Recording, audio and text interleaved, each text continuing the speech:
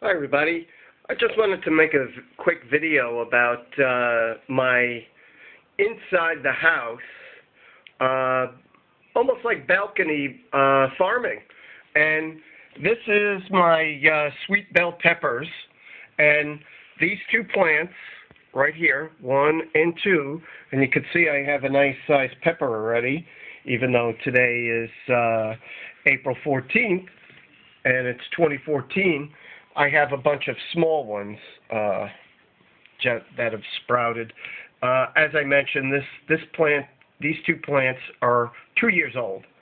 Um, okay, now let me get to this. This is my tomato plant, and this tomato plant has been growing continually for three years now.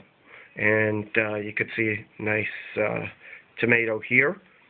Uh, to give a uh, scale. This is my thumb next to it. Uh, we've got another uh, tomato over here, and uh, we got some flowers here. Hopefully they pollinated. Okay, this one was a graft from this one here that happened to die. Uh, this one, don't know what happened. I did uh, move it. I guess it didn't like it, but I happened to make a, a cutting from it, put it in um, a small glass, and it really loved it. Uh, it's doing quite well.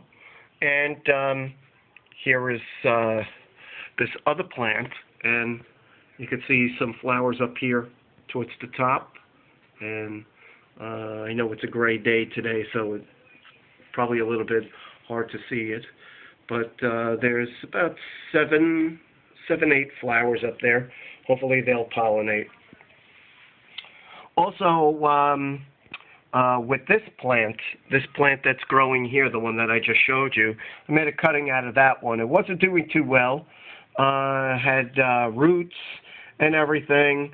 I put it into the soil, and it uh, probably went into shock. It was in shock for about 10, 15 days, you know, just about two weeks, 10 days, two weeks.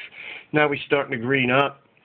Uh, hopefully get some delicious um, uh, tomatoes from there as well. Um, this one's a round type of tomato. This these are plum tomatoes. Um, okay, now we got to here, and you could see I have have it marked out. One, two, three, four, and we have um, uh, kidney beans here.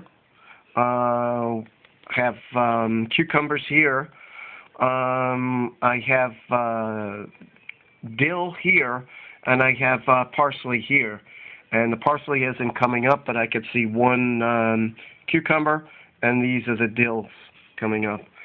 Um, everybody should have um, a uh, herb garden in their house. Uh, you really don't know what they spray, and for God's sakes, if they're spraying glyphosate, that just promotes cancer in your body. So uh, the research is there.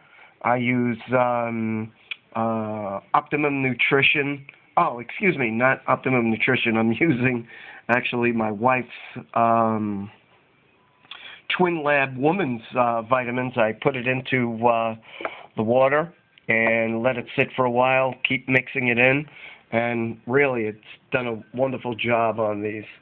So as things happen, and here you got a little bit of color with that one.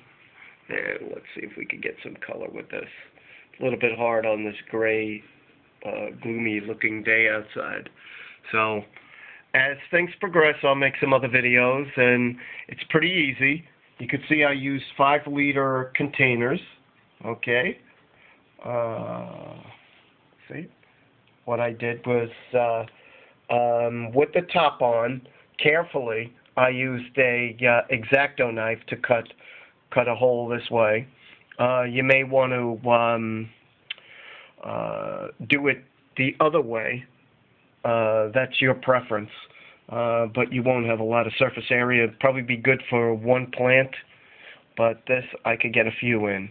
Uh, the thing is, I recommend if you do this, your soil will dry out rather quickly. You have to get some old um, paper put it against it, let the white uh, reflect some of the uh, ultraviolet uh, light away, so it doesn't heat up the soil too much and doesn't evaporate your your moisture out of the soil. So, pretty happy with uh, the results so far, and can't wait to taste them. And um, by the way, these uh, are from seeds from last year as well, uh, from a couple of years ago. So, seeds that I had from another planter, uh, but that that was four years ago. So these plants are from seeds that I planted four years ago. So pretty nice. Have a great day, and thanks for watching.